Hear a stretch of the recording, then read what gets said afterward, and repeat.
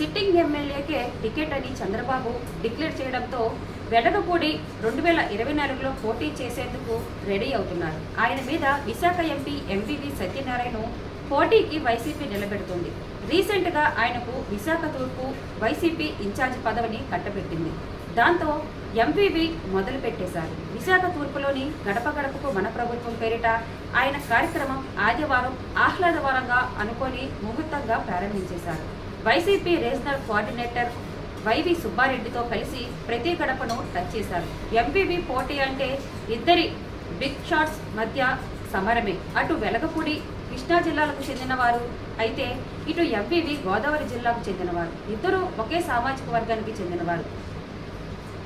అర్థబలం అంగబలంతో సమవుజ్జీలు ఈ ఇద్దరి మధ్య పోరు రసవత్తరంగా ఉంటుందనే అంటున్నారు. ఎంబీబీ ఈసారి ఎమ్మెల్యేగానే పోటీ చేస్తాను అంటూ తాను అనుకున్నది సాధించారని అంటున్నారు.